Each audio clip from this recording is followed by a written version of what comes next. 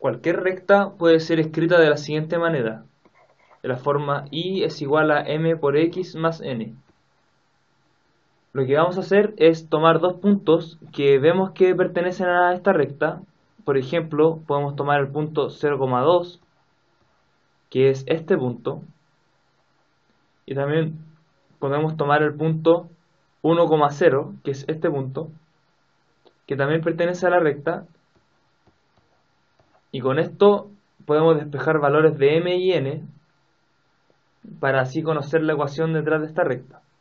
Entonces, reemplazamos primero el 0,2 y nos quedaría 2 es igual a m por 0 más n, de donde vemos inmediatamente que n es igual a 0. Luego, eh, el segundo punto que tenemos es 1,0, por lo tanto escribimos 0 es igual a m por 1 más n, pero n ya sabemos que vale 2. Entonces tenemos que m vale menos 2. Por lo tanto, la ecuación de la recta es menos 2x más 2. Ahora, tenemos que ver cuál de los eh, resultados de las alternativas no corresponde.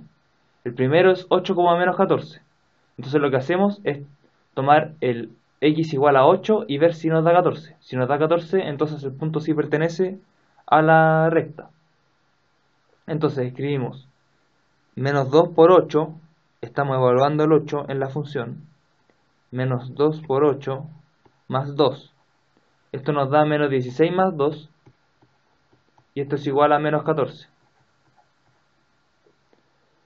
Por lo tanto, sí pertenece a la recta. Luego, en B tenemos el punto de 10, menos 18. Y hacemos lo mismo, evaluamos, ponemos menos 2 por 10 más 2 y vemos si da menos 18.